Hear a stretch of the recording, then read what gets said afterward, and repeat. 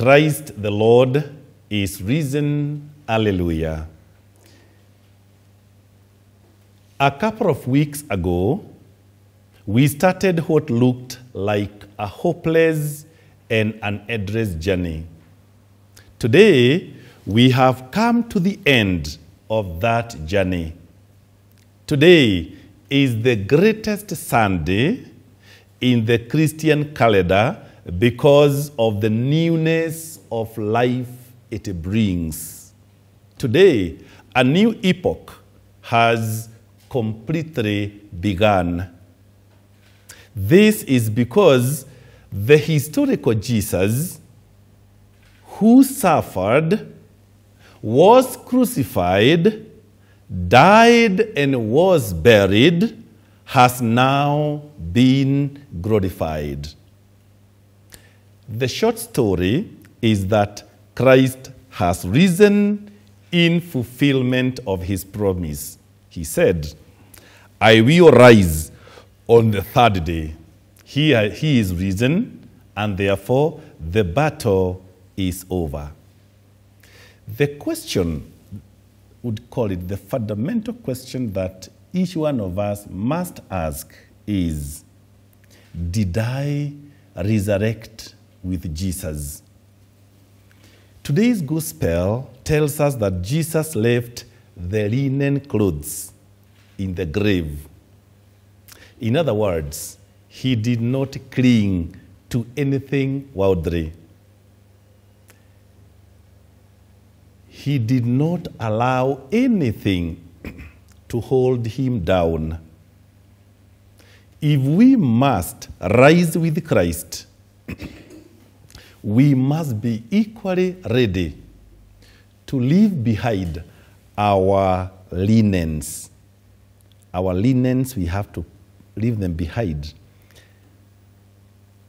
We must be ready to refuse to be held down by that we call death like. Spiritually, we need to ask ourselves what is it that has always held me down? What linens do I need to shed off? Shed off. because we may be resurrecting with Christ, but we are carrying the old selves.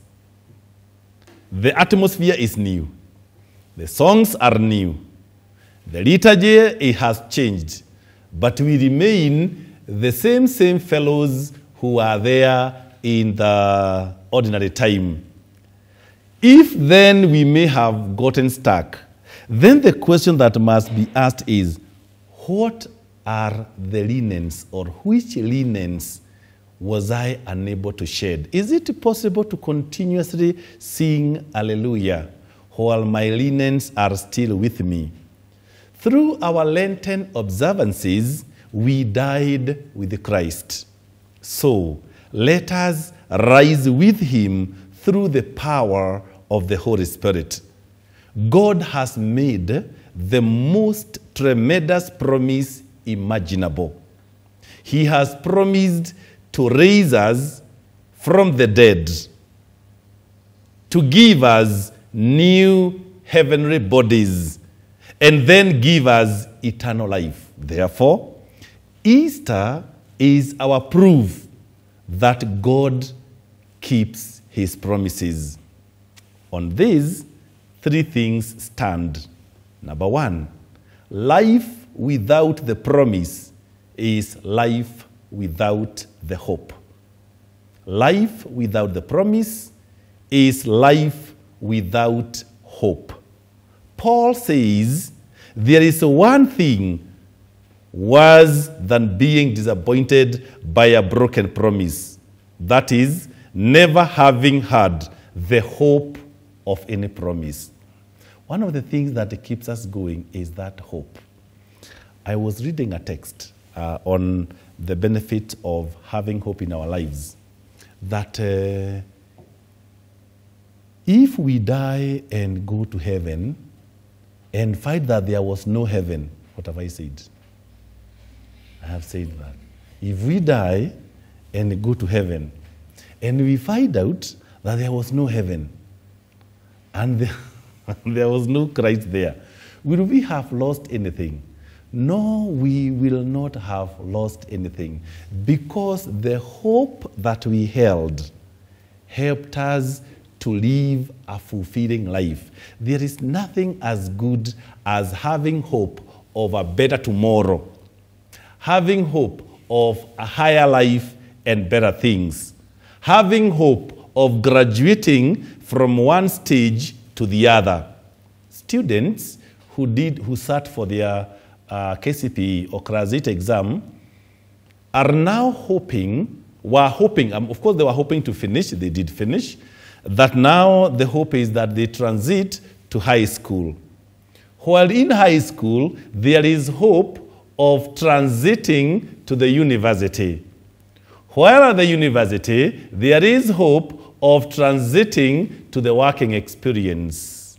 And then later, status in life changes. In every step of our life, there is hope that is attached to our today to give the taste our tomorrow. Number two, God's desire is to keep his promise to defeat death.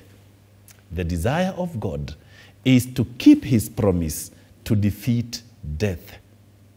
Paul calls death the last enemy. Now, if the last enemy has been defeated, then we have no reason of allowing any type of linen to hold us back. Number three, God's ability to keep his promise is proven by Christ's resurrection. God's ability to keep his promise is proved or proven by, his, by Christ's resurrection, by Jesus' resurrection. Jesus is, as we say in the Bible, the first fruit of the dead, or the first one to be raised from the dead. Had God not raised Jesus, we might wonder if he had the power even to raise us.